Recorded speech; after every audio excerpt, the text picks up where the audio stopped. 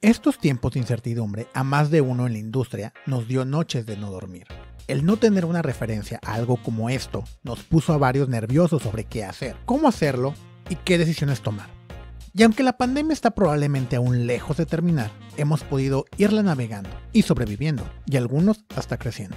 Romper récord de ventas en COVID suena descabellado, pero nuestro siguiente invitado nos platicará sobre no solo cómo lo lograron, sino que eso les dio el impulso necesario para crecer aún más y volverse, a mi particular punto de vista, la cervecería que está ayudando a masificar el consumo de cerveza artesanal en la localidad, algo que en verdad necesitábamos. Bienvenidos a Incervecio Felicitas, el blog que vuelve en forma de podcast semanal en donde cada episodio hablaremos a profundidad con profesionales de la industria y expertos sobre diversos temas relevantes, actuales e importantes para los consumidores, productores y amantes de la cerveza. Soy su anfitrión, Slem Torres, y les doy la bienvenida a este episodio. En esta ocasión me reuní con Pedro López de Cervecería Rey. Nos vimos en Del Barril, el futuro bar no tasting room de esta cervecería. Ahorita les explicamos el porqué. Pedro nos platica sobre los inicios de Rey y cómo la planeación de hacer las cosas de manera correcta y pensada fueron la bandera con la que inició el proyecto aun siendo que ninguno de los involucrados tenía conocimientos de cómo hacer cerveza. Solo tenían una visión y objetivos claros. Evidentemente hablamos de cómo a ellos les ha pegado el COVID, cómo reaccionaron ante esta pandemia y terminamos por hablar de Del Barril, el proyecto más reciente que está por abrir. Sin más que agregar, aquí me platica con Pedro. Saludcita. Ay, güey, está bien buena. La verdad es que sí, nos sorprendió. Digo, sabemos que no es un estilo Madres, el 98% de los regios, 99.9 casi casi de los regios podría decir que jamás lo han probado y seguramente les va a sacar un highway. Pero... Fíjate que a mí me jaló mucho estos estilos en Festival de la Cerveza. Uno por la sal y por las ideas como que refrescante y como es muy similar, digo, no similar, pero tiene ciertos toques micheladescos por la acidez, por la cervecita. Entonces es yo pensé que los goces o los Berliner eran un estilo como que iba a ser muy de beer geek, así como que muy, muy, muy nerd, pero no, nosotros la vendíamos más en. chingón. O sea, a la banda rara. A la randa, nomás refrescante. Sí, muy bueno. Pedro, Pedro de Cervecería Rey, ¿cómo estás? Muy bien, muchas gracias. La idea es platicar ahorita, yo sé que van a abrir un tasting room nuevo, un, un, bar, no necesariamente Rey, pero es digamos como que va y Rey. Digamos que somos primos. Son primos hermanos, ¿ok? Pero antes de llegar a ese punto me gustaría hablar eh, sobre la cervecería, cómo, cómo nace, cuál es la historia de Cervecería Rey, dónde están ubicados. Yo sé que están aquí en Monterrey, pero mucha gente no ubica exactamente dónde están ustedes. Y pues bueno, comencemos por ahí, por favor. Claro, pues primero dónde estamos ubicados. La forma más fácil, bueno, estamos en Santa Catarina. Y si eres buen regiomontano o tienes rato viviendo aquí, lo más fácil para dirigirte para allá con nosotros es vas rumbo a Saltillo y donde ves el bote botanera gigante, ahí para adentro. ok. Esa es la más fácil. Todo mundo que ha pasado por ahí ha visto ese bote botanera. Entonces es como nuestra referencia para la gente. Estamos en una zona industrial, en Parque Multitech. Es una zona 100% industrial y ahí estamos. Perfecto. E-, esa referencia de la salsa creo que es la, la mejor que he escuchado de una cervecería. ¿eh? sí, porque para el que va por la avenida, la ve. Porque, oye, no, pues mira, está el parque industrial, no sé qué. Si no eres parte de, si no estás acostumbrado a ir a los parques, si no sabes dónde están los chatarreros, cosas así, es el botanero. Donde está la botanera gigante, ahí para adentro. Si lo quitan, valiendo madre. Ok. Ustedes mandan poner un rey gigante, una, una botellota de rey. ya veremos. Esperamos para que cuando los quiten nos alcance a poner ahí un Federico así gigante. Y bueno, Rey, ¿cómo inicia? Eh, más o menos cuánto tiempo tienen ya en el mercado, cómo inicia el proyecto pues estamos por cumplir, ya cumplimos nuestro quinto aniversario en papel, porque la constitutiva, este, cervecería Cabrito, que al final la constitutiva nació antes que la cervecería. Claro. Entonces cuando nace la constitutiva sabíamos que iba a ser Chevy, sabíamos que iba a ser Regia. Entonces pues empiezas con los abogados, oye, ¿cómo se va a llamar? Pues cervecería Cabrito está disponible, chinga su madre, Luego vemos cómo lo vamos a poner. Eso fue en octubre hace cinco años. Para marzo, ahora sí, ya con un nombre, ya con una primer botella, en febrero más bien. En febrero ya cumplimos los cinco años, que es la primer venta de nuestra primer caja de, de Colch. Madres, qué chingón. O sea, sí ya tienen rato entonces en el mercado. Ya tenemos rato en el mercado, definitivamente, pues como muchos artesanales del mundo, pues pasamos primero por una etapa de prueba a través de maquila. Este, no es algo que tengamos escondido, no es un secreto para nadie. Este, nosotros empezamos eh, maquilando eh, fuera de Monterrey durante casi dos años, en lo que uno, probamos el mercado, probamos el estilo, nos probamos nosotros, todo el equipo cómo se sentía, cómo reaccionaba el mercado, probar que en realidad era una, una inversión viable y ya después pues la cervecería. que es algo, algo que nos diferencia o nos hace, nos, nos ha convertido diferentes como Rey a, muchas otras cervecerías, es que no nacimos en una cochera, nacimos de una idea y nos fuimos directo a una cervecería o a una marca más grande. Tan, ni yo, ni Federico, ni Pato sabemos ser chévere. Sabemos tomar, a toda madre. Ok, es y eso. sabemos los elementales para hacer una cerveza, pero realmente no empezamos haciendo cerveza. Vimos que había una oportunidad en el mercado y era un producto que nos, nos apasionaba bastante. Como historia, este, Federico y Pato, que son los primeros en, en iniciar Cervecería Rey, ambos vivían en Estados Unidos. Ellos son regios, pero estaban en Estados Unidos por cuestión laboral, tenían un buen trabajo en diferentes partes de Estados Unidos y en Estados Unidos se dan cuenta que tú llegas con tus compañeros de la oficina, con tus amigos del NBA a un bar y pides una Miller y se te quedan viendo feo. De que, güey, ¿por qué pides la cerveza más barata del menú? No, pues, pues, ¿qué hay, güey? O sea, yo vengo de Monterrey donde la gente toma tecate y... Donde, más- mi- donde la Miller es la importada y es la cara. ¿no? Exactamente, es más, te ves chido, llegas a tu carnita asada con tus Miller. Pues, ¿De qué me hablas? No, pues mira, está Sam Adams, está Dogfish Head, están un chingo de locales. En ese momento, por ejemplo, Federico estaba en San Antonio, en Austin, perdón, y pues en Austin hay un, un, un craft scene muy importante, ¿no? Se dan cuenta de que existe eso y se empiezan a apasionar y se dan cuenta que pues en México no existía. Por muchas razones. O sea, ya existían, claro, los viejos que nos abrieron puerta a todos como Minerva, Aquí en Monterrey, pues también ya había algunos otros que ya empezaban a hacer algo de cerveza artesanal, pero pues no, no, no lo veían. O sea, no era lo que es hoy, ¿no? Y, y lo que nos viene pues, para el futuro, ¿no? Entonces nace como una idea de un día de simplemente decir, la carrera que estamos llevando profesionalmente no es lo que queremos hacer, queremos emprender. Y la cerveza artesanal me apasiona un chingo, es un mundo muy chingón, y aunque no soy un cervecero, sé que lo puedo hacer posible. Inclusive tal vez fue algo que nos tachó en un inicio con la comunidad cervecera porque nos veían como outsiders. No éramos parte de la comunidad homebrewer, no éramos parte de la comunidad en taprooms. O sea, no empezamos como un restaurante con cerveza artesanal que poco a poco fue creciendo, o no fuimos como el asistente para otro cervecero que poco a poco fue haciendo lo suyo, sino llegamos de la nada. Sí, pero ya traían una visión muy concreta de. o sea, Exactamente. digamos que sin tener tan tangible la parte romántica, porque la seguían teniendo por cuestión del gusto. Sí, Sí, fue un, ok, güey, podemos hacer esto un negocio, te brincas pasos, entre comillas, pero sí me hizo una estrategia muy inteligente lo que hicieron. Claro, y hay, una hay un brinco muy importante en, en nuestra historia que es renunciar al trabajo que tienes para lanzarte a poner una cervecería en un país donde sabes que la cervecería artesanal no es negocio, con el sueño de que funcione. Y e- eso es como que la actitud más de la industria cervecera, o sea, tampoco estaba tan descabellado, No, tan, tan, no, tan no. lejos, o sea, todos hemos tenido ese momento de, güey, si dejo mi trabajo, seguro una quincena y pues la apuesto a irte, puede ser puesto el que tú quieras, puede ser director, puede ser gerente, puede ser hasta operador en, en un negocio seguro y es, güey, tengo que empezar a hacer, a vender, a ofrecer, tienes que ser desde el vendedor, el director y el decán que mueve el anuncio y de que Todo, compren. de todo. Eso es súper importante tanto en cervecería artesanal como cualquier emprendimiento. Tienes Claro. que tener la flexibilidad de hacer todo. Y algo que yo le admiro mucho a Federico y Pato es que los dos ya estaban casados, los dos ya tenían niños. Y no me quiero imaginar es- esa conversación con su esposa de, oye mi amor, ya es que dices que soy bien borracho. ¿Cómo ves? ¿Cómo ves? Sí, o sea, si, si uno eh, que pues no tiene esas responsabilidades, le, le piensas ahora, a la madre, si no había pensado en eso, eh. Que igual no fue a ciegas al 100% porque Patricio en ese momento, Pato estaba trabajando pues, para la cervecería más grande del mundo, en. Estados Unidos. Y él había visto que el mercado artesanal latino en Estados Unidos iba creciendo.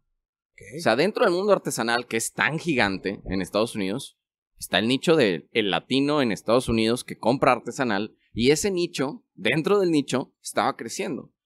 Entonces, pues haces tu regla de tres. Si el mexicano en Estados Unidos le gusta, significa que el paladar, la costumbre y la comida también va con la, con la cerveza artesanal. Entonces, en México es simplemente cuestión de tiempo. Y, y el que pega primero pega dos veces, ¿no? Entonces, si estás desde que inicia y tú lo inicias, pues siempre va a ser Sí, claro. Sí, o sea, ya cinco años suena como mucho, pero al mismo tiempo como bien poquito. Justamente esta semana decíamos, no puede ser, siento que fue ayer, pero al mismo tiempo siento que llevo aquí 10 años. Y seguramente lo podrás compartir, que dices, madres, ¿cuántas veces he hecho esto ya Pero al mismo tiempo siento que la primera vez fue hace unos días. Sí, es de- demasiado. O sea, cada día, es más, cuando ya se vuelve repetitivo de que ya hice las mismas cheves, es como que, güey, siento que esto tiene demasiado. Vamos a hacer una nueva, vamos a empezar un proceso nuevo, vamos a idear algo nuevo, y es como si fuera el primer día. Y eso te Claro. mantiene, mantiene creativo.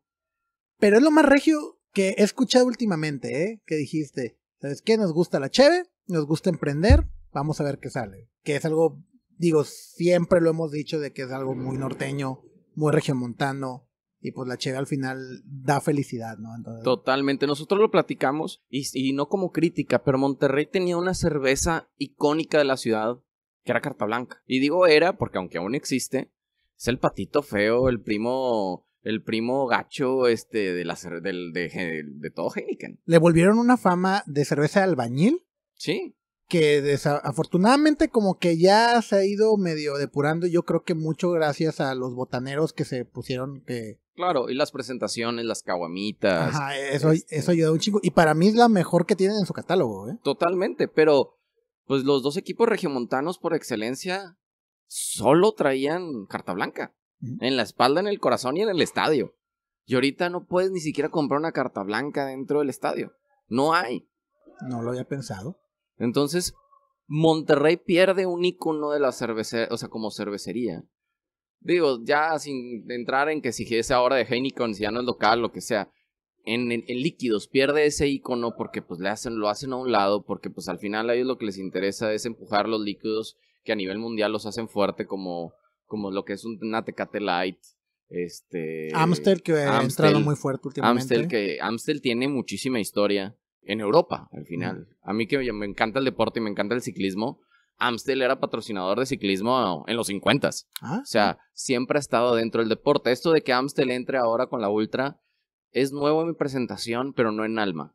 Quién sabe si todavía quede algo de alma de lo que era Amstel en los 50, pero siempre han estado. Ok, fíjate que eso no lo sabía. Y de hecho, Ultra se volvió una cerveza deportiva por accidente también, ¿eh? Sí, sí, sí. Digo, nosotros, este, dentro del equipo, pues todos hacemos algún tipo de deporte. Tenemos un chico que hace este ecoturismo localmente, Héctor, y él en todos sus tours se lleva un cartón de rey. Terminas el tour y pues, échate una cervecita. Oye, es que tiene muchas calorías. Acabas de caminar seis horas, güey. Trepando cerro, partiéndote la madre. No pasa nada. Y una cheve de Disfrútala. 120 calorías no te va a hacer nada. güey. Sobre todo cuando las otras, las ultras tienen 90, ni siquiera Ajá. estamos hablando de que tienen 10. Entonces, la verdad es que sí, sí, sí ha sido un, un reto, pero regresando, pues Monterrey pierde ese icono y lo veíamos como, oye, la cerveza artesanal, no solo Rey, sino las buenas cervecerías artesanales locales tienen que tomar ese lugar. Esa es nuestra, nuestra visión. Entre todos los artesanales locales deberíamos de poder tomar el lugar que en algún momento fue Carta Blanca, como la cerveza de excelencia de Monterrey. Sí, que se vuelva como el motivo de orgullo. A lo mejor no es el motivo de orgullo esta cerveza de esta cervecería, pero sí es como estamos orgullosos de la industria cervecera De la industria, local. claro. Que eso incluye también a los grandes, porque por ejemplo, pasa mucho que se nos olvida Sierra Madre. A los clientes, yo he tenido cantidades industriales de clientes que llegan y, oye, es que nunca probado una cheve artesanal. ¿Ha sido el Sierra Madre? Ah, sí, entonces ya. Pero se les olvida y, y tanto que a veces en la conversión pasa mucho lo que decías, los sentimos como outsiders que no son parte del gremio, pero pues están ahí Están ahí y nos abrieron puerta muchos. y picaron piedra, cabrón. Este, hay, la mayoría de la gente con la que yo platico que me pide una stout, me hace referencia la fraile o alguna cerveza que probaron en Sierra Madre. Al final, no sé cuántos años tienen, creo que acaban de cumplir 20 años o 15 años. una cosa- 30, no, no, 30 no. 30 creo que Sí, no. no, no, son del 96, 98 por un ahí. Chingo Pero tienen un de chingo. tiempo picando piedra por todos nosotros. La, la realidad es que nos caigan bien, nos caigan mal, hagan buena, mala, cheve. A muchos nos abrieron la puerta y al consumidor le, le, le despiertan el paladar. Que al final, pues la- nu- nuestra intención es que crezca el pie. Lo hablamos una y otra vez entre nosotros y lo hablamos cada vez que tenemos este chance con la gente. Que me dice, oye, güey, ¿y otra, ¿qué otra cervecería es tu competencia? Este, Huerca. Pues la neta es que no. O No es que no somos competencia porque al final yo creo que el consumidor de cheve artesanal es muy diferente al consumidor de cheve industrial que no se casa con una cheve. Y esa es nuestra intención. Porque O puede sea- ser la favorita, puede ser de güey, mi la White Ray es mi favorita. Pero eso simplemente significa que cuando vaya a un bar y la vea, va a pedir esa una o dos veces y las otras cheves va- las va a variar. Claro, claro. O sea, yo a mí me encanta ir al HB, que el HIV ha sido partidario de muchas revoluciones, yo considero revoluciones de, este, alimenticias, por decirlo así. Yo siento que HIV es el que cambió la carne asada para el regiomontano. No lo había pensado. Porque son los que nos pusieron los mejores cortes. Antes del HIV no podías pedir una picaña. Te mentaban la madre en la Ramos. Hasta que llegó el HIV, oye, una picaña. La picaña pedías en el restaurante, pero no la podías comprar. Y siento que el HIV, así como hizo su trabajo con la carne asada, ahora nos está ayudando con las artesanales. Porque ya hay un buen catálogo. Y a mí me encanta ir al HIV y ver un chavo que trae seis rey y dos más. De la que sea. Si quiere probar principio, si quiere tomar huerca. Y bueno, como casi todo cervecero, siempre traigo el logo en alguna parte de mi cuerpo ese día.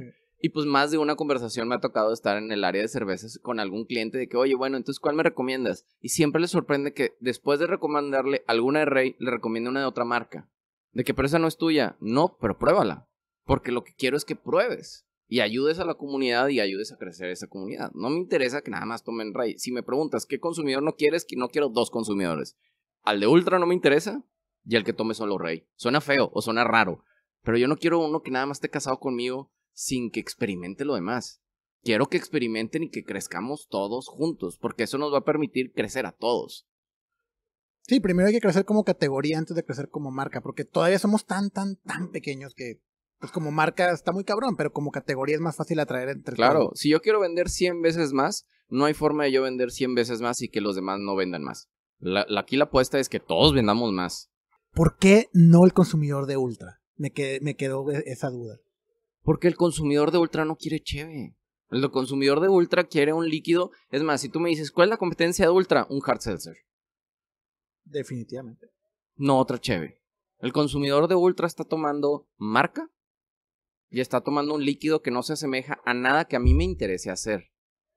Que hay artesanales que han hecho ultras o semi-ultras o cervezas muy bajas en calorías, sí. Pero para nosotros como rey no nos interesa yo no quiero irme a pelear con las multinacionales que le están apostando millones y millones en 12 packs en 99 pesos en HB con una cerveza que sabe agua. Me interesa más el que toma vino y no toma cheve, poderle dar una experiencia en un tap room o en una plática y decirle, mira, vas a probar la cheve como si estuvieras probando un vino. La vas a oler, la vas a ver, vas a, o sea, sensorialmente te tienes que activar para poderla probar. Pero el de Ultra, el de Ultra dale un Kool-Aid con vodka y es feliz. Sí, y de, y de hecho sí, no lo había pensado, pero sí es la competencia más directa. Porque son, en teoría, bajas en calorías, no tienen carbohidratos, porque es pues, un alcohol ligero. Claro, claro. Es más, hasta la latita slim. Ándale. O sea, los hard seltzers yo creo que vienen a revolucionar a ese mercado. No, o sea, se dice cheve, pero la ultra prácticamente no es cheve. Sí, pues sabe muy, mucho agua. Digo, la ultra nace como una cerveza, en teoría, la crearon para la gente de la tercera edad. Y ya después se volvió la, cerveza del deportista por las calorías y porque sabe agua y te hidrata, pero pues sí, claro, toda la claro. Y porque es un nicho que es muy apasionado, el deportista le gusta sentir que es parte de algo. Y Ultra, en su momento, Michael Ultra hizo una muy buena chamba y después, este, papá Heineken les dio ahí por ahí un reversazo y les copió todo, ¿ah? Pero la realidad es que no es un consumidor. O sea, si alguien me dice, yo nada más tomo Ultra, pues difícilmente va a haber algo, güey. Pues te traigo un vino, tal vez, o una margarita. sí, te, hago una bebida con topo chico y vodka, o sea, no, no Sí, sí, sí, pero estás más cerca de allá que de acá. Es más fácil que brinque un hard seltzer a que brinque, pues inclusive una Kolsch. Sí, no. O sea, ¿qué es, ¿Cuál es la cerveza más ligera que tienen ustedes en su catálogo? Está medio complicado, porque nuestra cerveza más ligera es nuestra Stout. Ok. Intencionalmente. Nuestra Stout es la cerveza que menos alcohol tiene en nuestro catálogo, es la más ligera en boca. Y sí, sí tiene más grado de amargor, pero por el estilo. Pero si tú me preguntas, nuestra cerveza más ligera, pues es nuestra Stout. Y ellos lo que se imaginan es una cerveza pálida, casi cristalina, en cuando piensan en light. Que luego el, el, típico de que es que no me gusta el artesanal porque es muy fuerte. ¿Fuerte en qué, güey? Fuerte en sabor, fuerte en amargor, fuerte en alcohol, fuerte en cuerpo. O sea, sí, a mí me ha pasado que hay gente que, oye, recomienda una cheve ligera y de, de mamón le llevas una Guinness. Sí. Y sí, y es exactamente lo mismo que tú dices, una cheve muy baja en alcohol, una cheve con muy poco cuerpo, aunque digo, tiene una textura distinta, pero en cuestión de gravedad, o sea, son cervezas. Y sí, fíjate, no lo había pensado, la Stout de ustedes me gusta mucho por fresca. Sí, y esa es la intención, porque cuando empezamos a idear la Stout, pues eso, por eso se llama Monterrey Stout, porque es una Stout pensada en el consumidor regio. que quiere una cerveza ligera y que normalmente, te lo juro, están en la cervecería, incluso amigos y familia, le servimos una stout y dices, no, güey, está bien fuerte. Otra vez, güey, fuerte como, güey. Está nomás está negra, güey. Ajá, nomás está negra. Entonces, no, no, tiene nada que ver. Ya, o sea, ya, ya pasaste el tour, ya te expliqué, ya probaste hasta las maltas una por una y todavía regresa como que ese, ese estigma de, ah, no, está oscura, ah, está bien fuerte. No, sí, está, está cabrón cambiar algo tan arraigado en la cultura. Pero bueno, y ahora pues platiquemos un poco, ¿no? Sobre cómo les ha ido como rey en COVID. Yo sé que a todos nos ha ido de la chingada de alguna u otra manera, no ha sido como que el año para nadie. Pero la experiencia de ustedes durante esta pandemia global, ¿cómo ha sido? Realmente fue complejo, pasamos por momentos de pánico, creo que como todos. En marzo estábamos con un plan de ahorro pensando en lo peor para lo que seguía del año se venían abajo, pues los restaurantes, el, casi el 70% de nuestro consumo es para restaurantes. Entonces, el que de un día para otro nos digas que todos los restaurantes están cerrados y que los que no están cerrados obviamente tienen un 30% de capacidad y lo que lo menos les interesa es mover líquidos complicados de mover, significó que toda esa facturación se fue a cero, inclusive cancelaciones de órdenes que ya teníamos para el mes. Entonces, sí, marzo nos, nos, nos agarró como a todos con miedo. ¿Cuál fue la ventaja? Que empieza a haber un, crecimiento en la venta en línea. Para nosotros una bondad es que nosotros ya estábamos en Amazon, ya teníamos nuestra tienda en línea, ya vendíamos a través de cervezarrey.com, ya funcionaba, ya teníamos toda la logística lista, inclusive ya estábamos en Uber Eats. ¿En Uber Eats como cervecería? Como cervecería, o sea, tú si estás, por ejemplo, en la zona de Centrito del Valle, tú entras a Uber Eats y te aparece Cerveza Rey, Puedes comprar desde una pieza, six, las que tú quieras, y te llegan a tu casa frías en menos de 20 minutos. Madre, eso no lo sabía. Interesante. Está con madre. Entonces, de repente, llega el Bronco, creo que fue el 31, marzo primero de abril, una cosa así. Se avienta su, su super speech de que posiblemente, hipotéticamente, iba a haber ley seca. La gente se vuelve loca y empezaron a entrar pedidos por las plataformas que ya teníamos, que hacer una bondad y de repente, pum, pum, pum, de 100 pedidos al día. Cuando el año pasado vendíamos 10 pedidos al mes. Entonces, de repente, oye, 100 pedidos al día. Otra bondad es que como las ventas al restaurante desaparecieron, tenemos un equipo de choferes y de vendedores que pues ya no estaban haciendo nada y no corrimos a nadie, que esa es otra bondad. No, no tuvimos ni una baja durante todo COVID. ¿Por qué? Porque empiezan los pedidos en línea y es, oye, güey, yo sé que tú eres vendedor, no eres chofer. Pero tienes que entregar 20 paquetes mañana. Y así como ellos, nosotros. Llegó un punto, creo que fue un jueves, porque otra cosa que nos comprometimos cuando empezó todo esto es, todos los pedidos de hoy se tienen que entregar mañana en Monterrey. Porque cuando empieza todo esto, eran un montón de consumidores que nunca habían pedido cerveza en línea o nunca habían pedido en línea en general.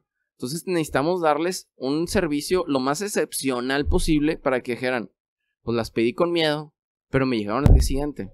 Pues igual a pedir y los voy a recomendar. Entonces llegó un punto donde Federico, Pato, yo, los dos choferes, Andrés, que es nuestro vendedor, y Jorge, nuestro chofer, cada quien con 30 pedidos para entregar todo Monterrey. De hecho, sí, más de una vez me encontré la camioneta de Raid mientras estaba entregando yo también. ¿eh? Y así como ellos, literal, pobre Passat del carro de, mi esposa, porque en ese momento yo tengo un bochito clásico y nada más traía el bochito. Pero pues no, no podía mover 30 cartones en el bochito, pobre bochito. Pobre carro de mi esposa, porque literal, así, chaparro, venano, con 30 cartones en la parte de atrás, no están pensados en eso, esos carros.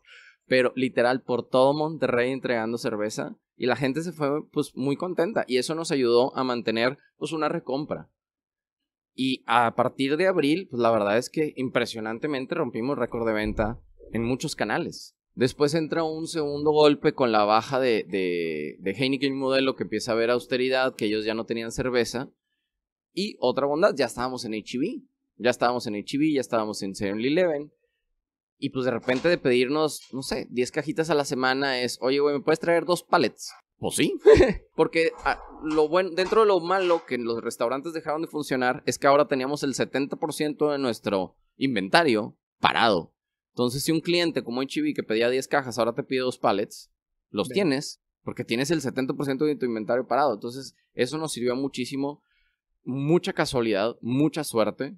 Estoy seguro de que si el Bronco no hubiera mencionado que iba a haber ley seca y si no se hubieran cerrado las cervecerías industriales, como pasó en Estados Unidos, que no cerraron, no lo hubiéramos visto muy, muy, muy negras. Como pasó en Estados Unidos en el mundo artesanal. O sea, la gente en Estados Unidos, todas las cervecerías artesanales de Estados Unidos, que muchas dependen de, de sus taprooms, que estaban cerrados, y que no todos están en supermercados porque dependen pues, de una, una venta más directa, pues les fue muy mal, porque nunca dejó de haber las grandes. Sí, las grandes.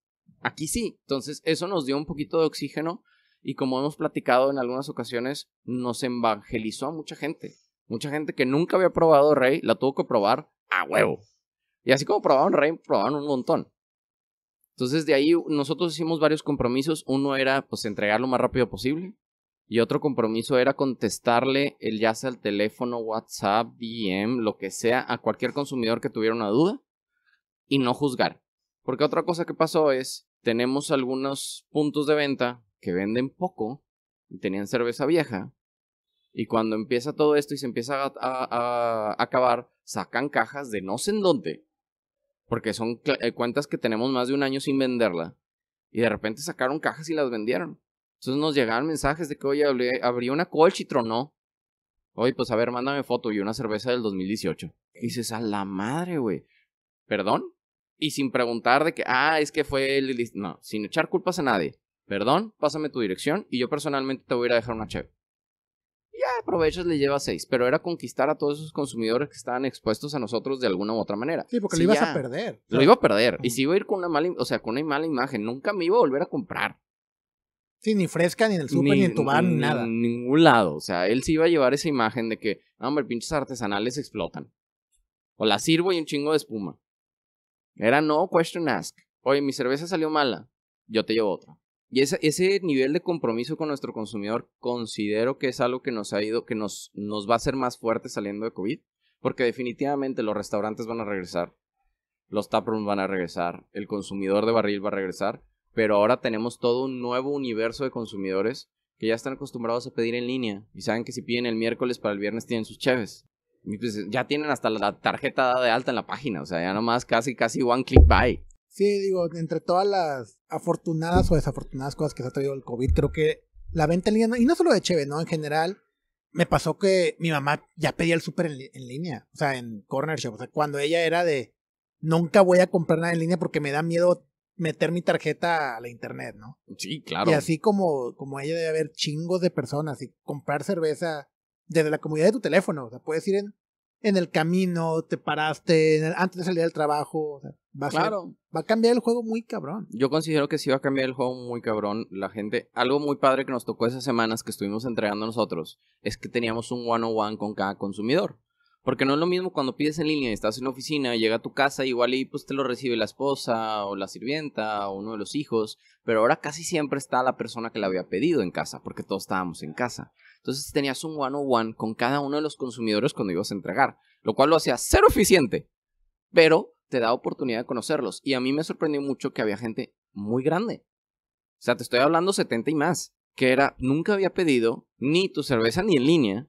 Me animé y oye, qué chingón, que tú puedes venir, me la traes, me la platicas, me explicas todavía más del proceso, me dices un poquito más y veo que hay una persona, no le estoy comprando a una corporación, le estoy comprando a alguien esta cerveza, le estoy apoyándolo durante su, pues, esta crisis de COVID y aparte me la traes hecho madre.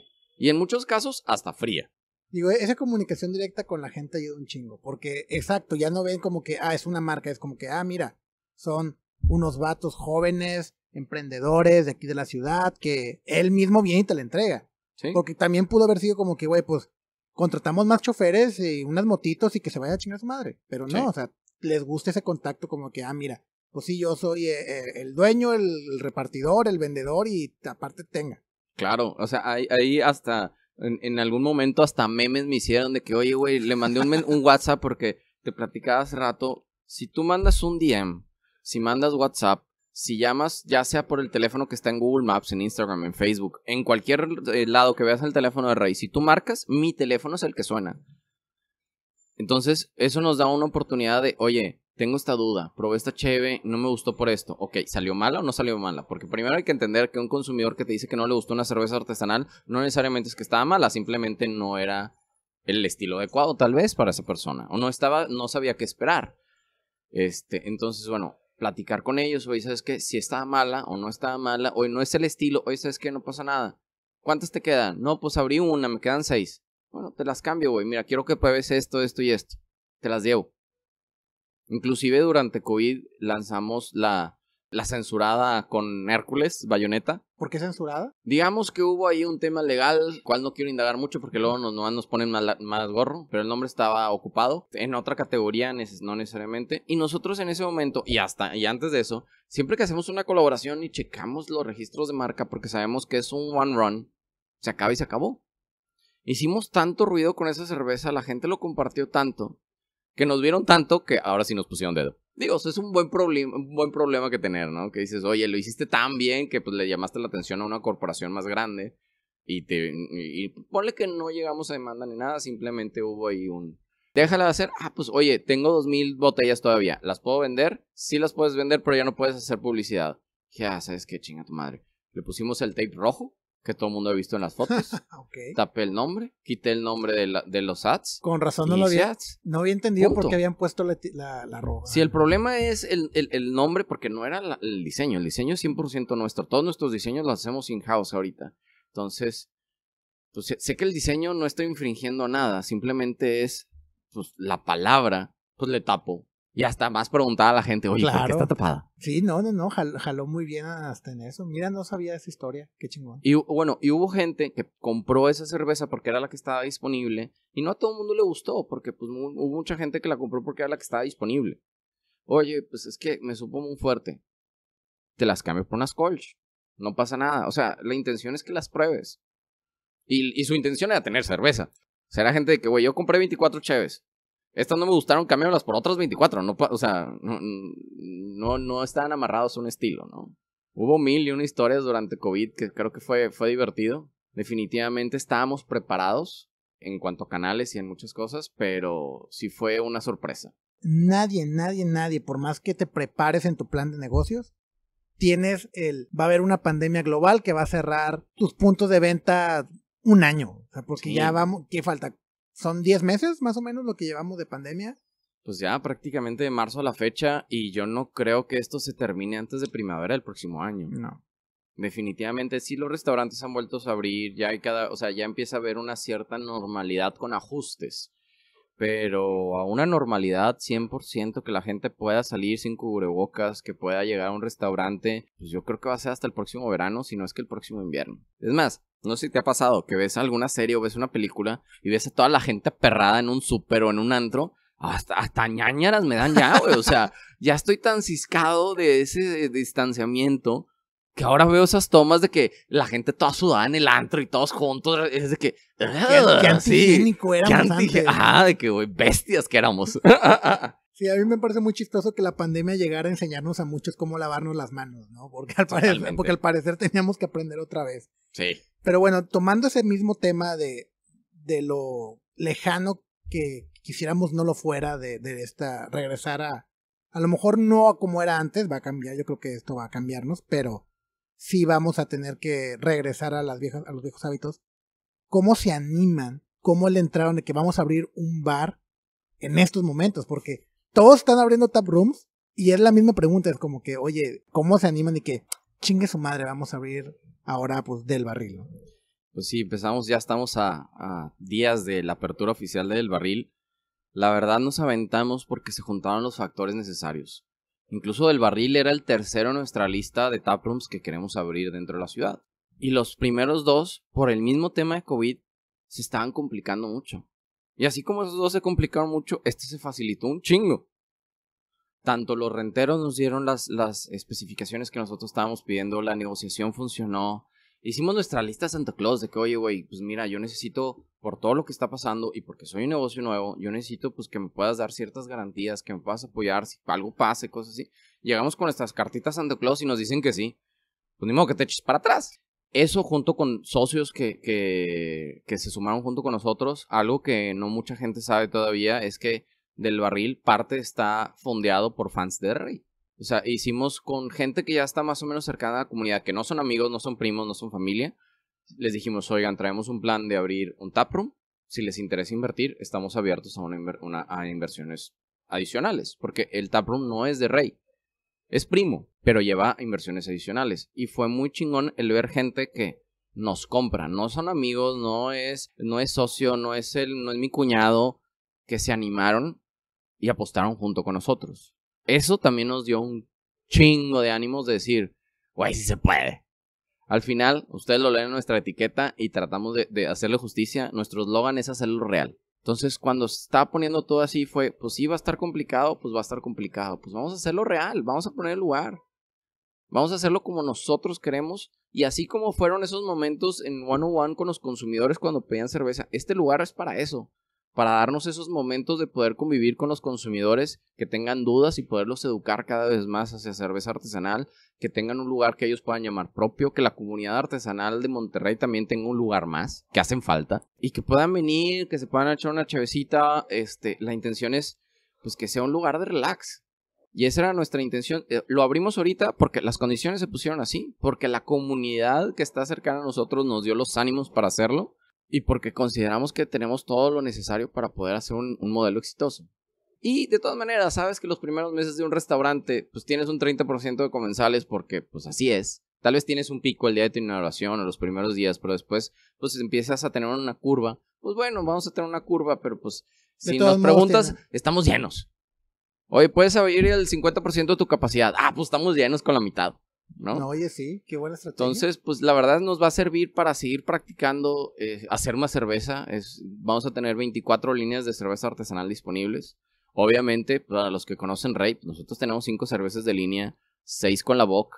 Pero pues la intención nos dimos a la tarea de hacer más cervezas. Entre más tiempo, pues vamos a poder tener más propias. Y la intención es tener cervezas invitadas locales y nacionales del mundo artesanal o pues, de amigos de la comunidad que pues queremos que estén aquí. Por eso han estado haciendo muchas colaboraciones últimamente, ¿no? Sí, para los que nos siguen en Instagram, pues han visto, hemos estado en Metapatio, que ahora se aventaron su cervecería en la parte de atrás. Estuvimos con los chicos de Wendland en Ensenada, no sé, eh, que esa cerveza ya, está, ya va a estar aquí disponible, la Rey Paloma. Nos aventamos una colaboración con Huerca hace un par de meses, con Fausto. Eh, la intención, pues es, al final, tú no me dejarás mentir que eres parte de la, súper esencial de la comunidad. Somos un montón de amigos. Sí. Lo digo una y otra vez, no hay competencia, incluso hay amistad entre las cervecerías y la intención es que este lugar funja para, para hacer más cosas. Digo, y tan así es la industria que pues está un grupo de que, oye, güey, me falta esta malta, ¿quién tiene? Ah, yo tengo, ah, ahorita paso, de que, oye, alguien tiene leva, oye, alguien tiene lúpulo y te lo Pasó durante, regresando sin ser muy repetitivo con el tema de COVID, durante los meses más este, fuertes, no en casos, porque ahorita nos anda llevando el payaso, pero en cuanto a choque, en cuanto a las cadenas de suministro y todo, más de una vez vendimos las maltas al mismo costo que nosotros las compramos, sin ganarle un peso más. Es, oye, güey, yo tengo X tonelaje, tú ocupas tantos kilos, pues yo estoy cocinando menos porque aunque estábamos vendiendo bien, no sabíamos qué iba a pasar. Pues te los vendo, güey. Tal cual, aquí está la factura, güey. Inclusive para muchos cerveceros era hasta más barato de lo que ellos lo compran porque nuestro volumen ya nos permite tener ciertas mejores negociaciones. Entonces, no, no, solo no hay competencia, hay una amistad y un compañerismo dentro de la comunidad. Entonces, ¿cuándo va a ser la apertura que tienen estimada para aquí, para el del barril? A partir del 10 de diciembre empezamos con, con, todo. Antes del 10 de diciembre, para el público que escucha tu podcast, que sabemos que es el mismo, es todavía pero ya no será en algún momento. Pero ahorita todavía es un mercado 100% cervecero. Mándenme un WhatsApp a mí, a Fede Guapato, y los esperamos aquí a partir del lunes. Ah, perfecto. Que estamos hablando que es. Hoy estamos a 26 de noviembre, dependiendo cuánto salga esto al aire, pero ya. Este tiene que estar saliendo el día. Fíjate, dato chistoso, este sale el 2 de diciembre. Si el 2 de diciembre tú estás escuchando esto y no has venido del barril, Kyle. Estamos en Calzada del Valle, Plaza 401, en el tercer piso. Perfecto. Bueno, Pedro, muchas gracias eh, por tu tiempo y gracias por esta conversación. Eh, nos esperamos ver la siguiente semana y pues aquí andaremos más seguido de lo que creo.